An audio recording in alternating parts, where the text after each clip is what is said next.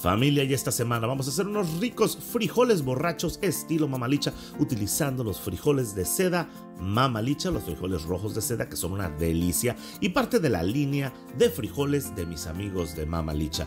Los frijoles borrachos es una versión con cerveza de lo que son los frijoles charros, riquísimos y muy sencillos de hacer.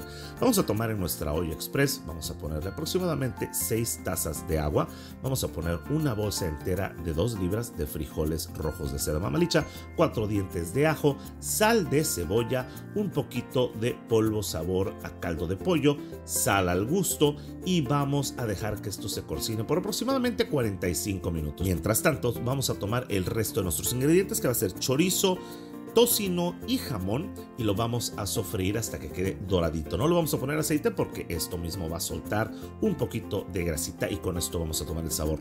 Pico de gallo, cilantro al gusto. Vamos a también tomar un poco de ajo picadito y esto ya es opcional, un poquito de chile serrano.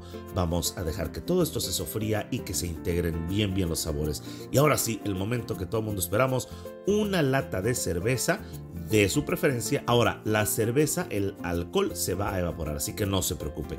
Tiempo de integrar nuestros frijoles, que vea qué ricos quedaron, súper frescos. Vamos a dejar que esta mezcla se reduzca por aproximadamente 20 minutos y estamos listos para servir nuestros frijoles borrachos estilo mamalicha. Recuerde, búsquenos en nuestras redes sociales porque mamalicha es una tradición en sabor.